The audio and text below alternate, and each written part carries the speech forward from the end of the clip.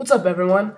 Uh, today I'm going to show you how to correct white balances, um, whether it's pretty far off or just you need to touch it up a little bit. Um, so basically, I have my footage here, and it's so incredibly blue. Um, I set a custom white balance of an orange t-shirt just so that it's so incredibly blue, and then I just kind of pan across. And um, we're probably not going to be able to correct this too much, but for purposes of demonstration, um, this will work perfectly. And I take that back. We will definitely be able to correct it, but it, it, we probably can't get it completely looking natural because that color information just is not there. Um, so let's go somewhere right here and let's use the fast color corrector.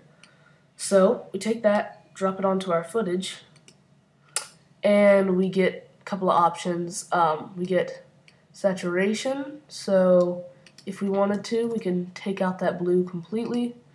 Um, and then a couple auto levels, so it'll automatically, um, like maybe crush your blacks, lighten your whites, auto contrast. So, and then here's all of that information. So that's that's all good. But in order to correct this, what we need to focus on is this wheel right here. So basically what we want to do is um, counter this blue with the opposite um, complementary color.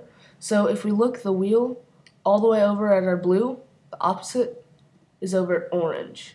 So we could totally fill it with orange um, and then just go across here to find which one works best and then take some saturation out.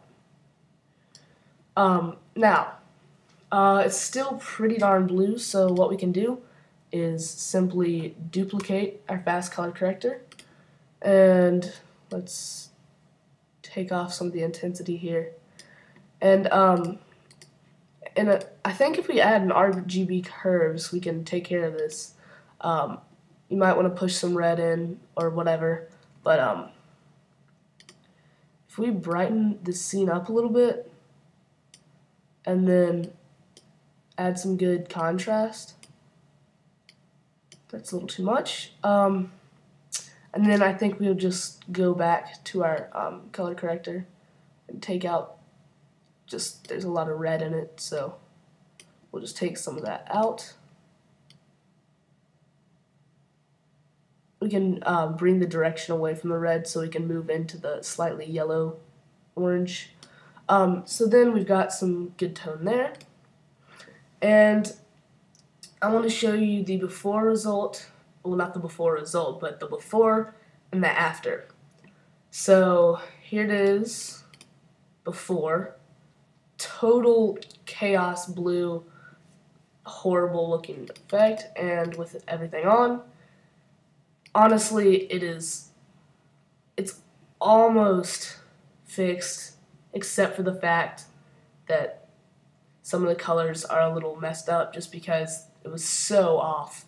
But um, basically, you can go into the fast color corrector, select your white ba balance via this eyedropper tool, and then you just go click on whatever should be white. So I have some paper here, so I can click that. But it doesn't want to work for me today, so I'll um I'll just stick with this.